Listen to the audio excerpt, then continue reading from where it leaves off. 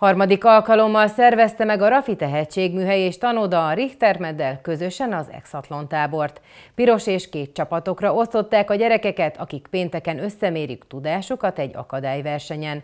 A sok mozgás mellett különböző tematikus programokkal és előadásokkal is kedveskedtek a gyerekeknek a szervezők. Öt fiú és öt lány vesz részt az idei Exatlon táborban, ami egy nagyon kiegyenlítődött mezőnyt eredményezett, árult el Nagy Péter Firita, a Rafi Tehetség műhely és tanoda vezetője.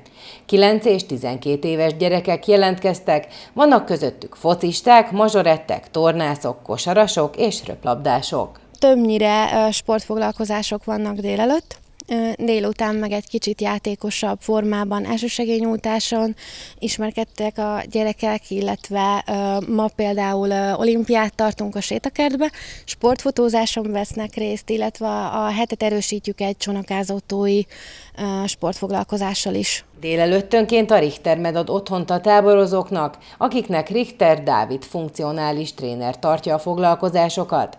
A bemelegítést követően számos ügyességi és sorverseny is várja minden nap a piros és a kék csapatot. Igazából ez a harmadik alkalom, hogy ezt a tábort mi csináljuk.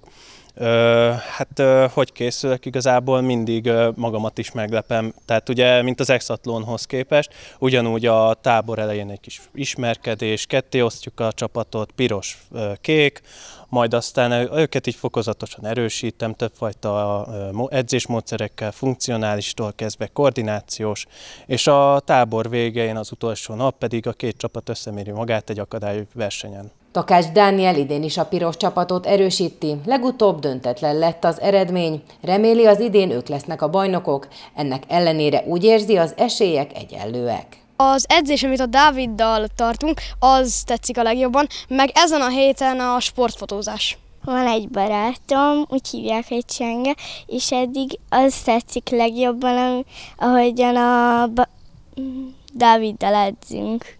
Egész héten a pénteki megmérettetése készülnek a gyerekek. A piros és a kék csapat is komolyan veszi a felkészülést. Stábunk ott járt, akkor is vissza kellett nézni a felvételt, hogy kinyerte az adott pontot, annyira szoros volt a küzdelem.